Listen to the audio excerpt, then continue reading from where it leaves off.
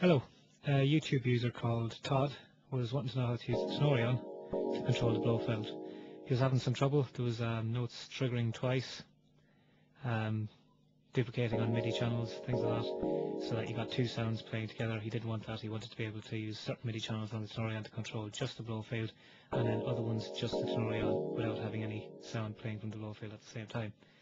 Um, I found the easiest and cheapest way to do this was create silent patches on both the Blofeld and the Tenori-On. You can use MIDI filters for things like these, but they're costly, hard to set up, and can be very, very fiddly.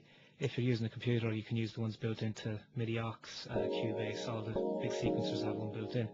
But if you just want to use a hardware sequencer with a sound module built into it to control a synth, then the easiest way is a silent patch on the Blofeld I created it using just the create a regular preset but I set all the oscillators to off the filters to off, ring modulation to off, um, noise to off so that it's absolutely silent even when a note is received.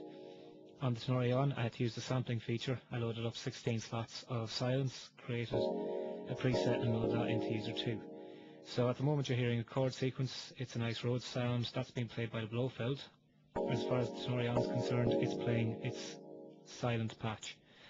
But the MIDI note is coming out, going into the Blofeld, triggering the Rhodes sound.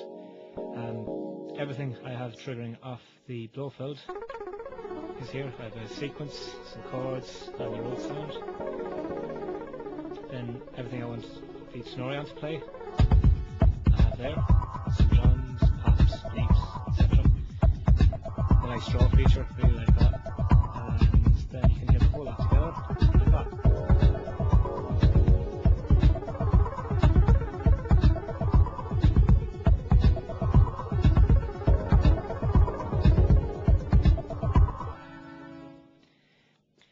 So just to demonstrate what Todd didn't want, um, I've created this little sequence here.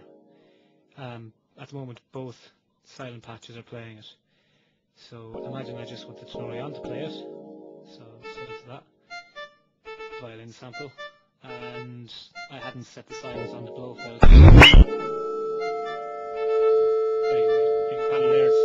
it's maybe not what you want.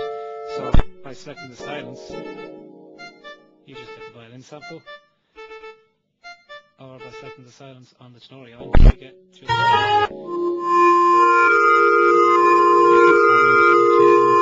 on the Blofeld. So that's what he, he didn't want, was two sounds playing together at the same time. And this was my solution for it.